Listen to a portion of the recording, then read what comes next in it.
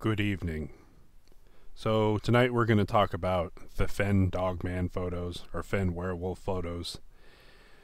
I linked below in the description an article talking about the Fen area, and uh, it's got some history and lore of the area about how they do have these dogman sightings or werewolves or whatever you want to call them.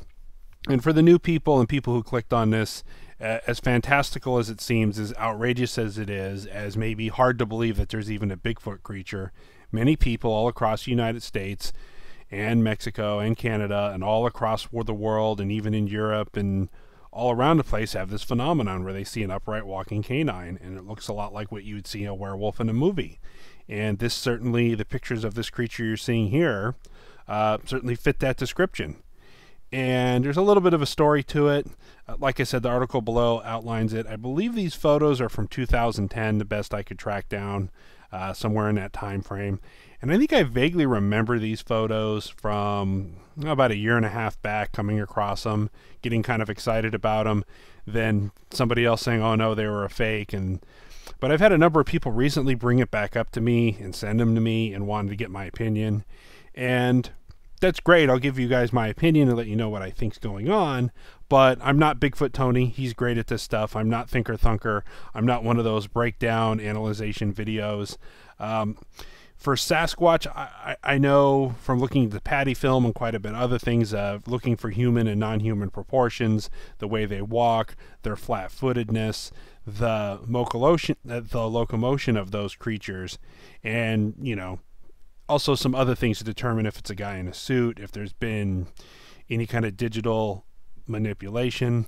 Uh, so a lot of that, you know, doesn't really apply to these werewolf dogman creature phenomenon that people are seeing because they are fairly commonly seen and most people are very terrified when they see them because, you know, the whole concept of an upright walking dog doesn't make any sense versus like a Bigfoot that tends to make sense because, you know, we're an upright walking great ape species ourselves, humans.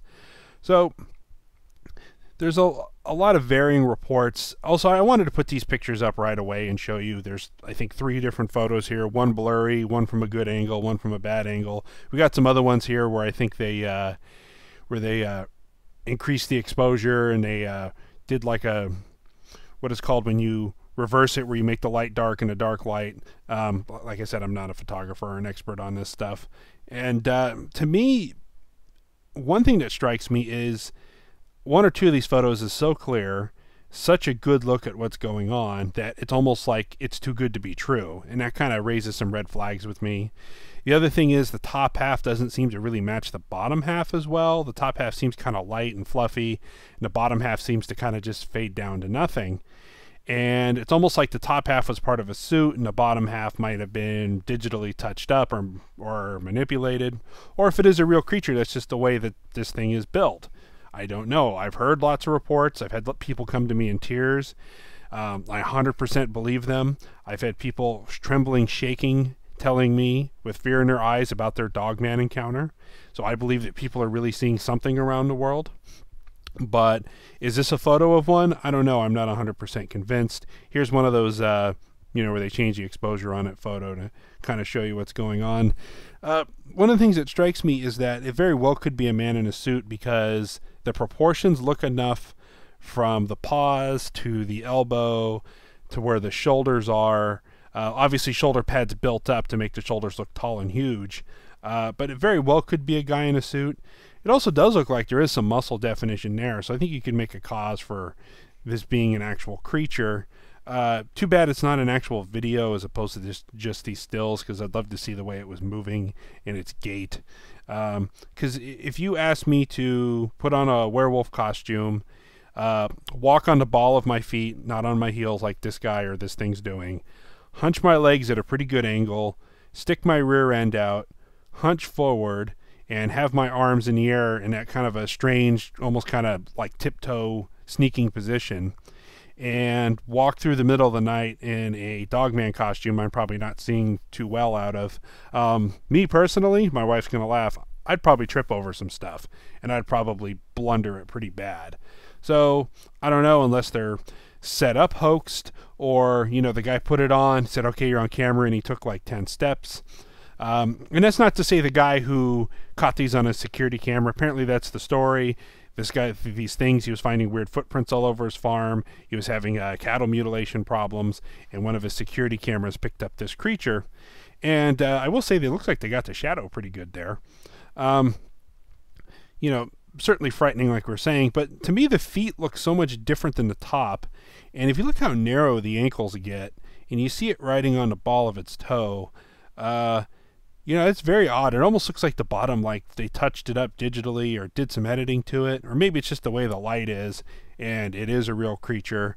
Uh, but I think I would have a hard time maintaining this pose in this costume and walking through it if it was. Um, yeah, so I don't know. I, am leaning towards this as some kind of a hoax. And like I was going to say, it's not so much that the, the farmer, the guy that took these pictures, is a hoaxer. It could be more along the lines of he was being hoaxed. Um, so yeah, let's let's talk about something else that struck me with this film or these photos, I should say. So one of the things that comes up a lot in Dogman reports and people I've talked to is they said it was like an upright walking dog, and by that meaning that um, it had more of a dog's like anatomy on the bottom with um, walking on the ball of its feet, which is, you know, on your toes. I believe the term is digigrade, not plantigrade like us. Having that extended forepaw, you know, how dogs have that long, you know, they're walking on their toes and they have that long paw that almost acts like a forward going knee, like another hinge point, and, um, or like a backward flowing knee, like in, like another hinge point, and uh, they've got that dew claw up there. You know, it's kind of like a stretched out version of a general uh, mammalian type foot. And a lot of people report Dogman as having that kind of a foot structure, something very close to like what a dog would be if it was standing upright, and then the the shoulders being much broader, the chest being bigger, um, all all that kind of stuff. Although there are some reports, people report a Dogman where it looked just like a 400 pound wolf walking on its hind legs not any out of proportion than a normal dog trying to stand up. And if you've ever seen a dog maybe go up on two feet or, you know, stand on the counter or something like that, you, you kind of know what I'm talking about here. And the subjects in these um, Fen werewolf pictures, because that's kind of what they're known as on the internet, werewolf, dogman, whatever you want to call them, uh, seems to have very human-like feet. Like I said, it does seem to narrow quite a bit coming down to the ankle, and the bottom seems to have some kind of some kind of touch up or something done to him, but I could be completely wrong. And um, like I was saying, the, the whole concept of an upright walking dog, um, werewolf type creature. Well, if you look back through history, I think it's like scythocephalus or some kind of a term for it. I know I totally butchered that word. Um, it means dog headed men. And if you look uh, depictions of St. Christopher and you look even uh, reported members of the Knights Templar, there were men, great warriors, but they had the head of a dog. And I'm sure some of you guys are going, Anubis right now in the Egyptian religions and ancient Egyptians. Yes, that's a very good um, representation. All the way um, through through the Native Americans, especially here in the United States where I are, they have a, especially in the South and along the border, they've got a history of these things being here a long time, much like Bigfoot. Uh, I also know down um, south of the border in Mexico and um, Central American countries, they have a long history of the devil dogs and um, they basically they run in packs and they're like an upright walking werewolf and they're very ferocious. And there's stories like the siege of lockett ranch and um, uh, you know different sightings all, all throughout the united states. Now I, i've heard of them you know the the going as far up as wyoming and then you got to look at the michigan dog man and then um, um, the Beast of Bray Road and all those areas, and in Ohio and all through the Midwest and those different areas. A lot of reports of dogmen and going all the way down south to the legends of the Rougarou. Um, so it's not a new phenomenon. It's kind of lesser known, and for a lot of people, um, you know, you think of Bigfoot, but people are seeing these dog creatures. I don't know what to make of it. Um, I do believe people when they see that they're saying them. They scare me as far as these photos, I'm leaning towards they're a hoax just because they're almost too good and too clear. And I think I remember reading a while back they're a hoax, but even if I take that out, um, they're certainly frightening. They're certainly creepy. If someone had a costume and went in front of one of my cameras with this thing, I would, you know, it would really keep me up at night. It's very scary, frightening photos. If you guys have any more information about these photos, please leave a link in the comments below. Let me know what you think in the comment. And uh, please give this video a thumbs up. It really helps the channel out. If you want to see more stuff like this, please subscribe. Thank you very much and stay safe in the woods, folks.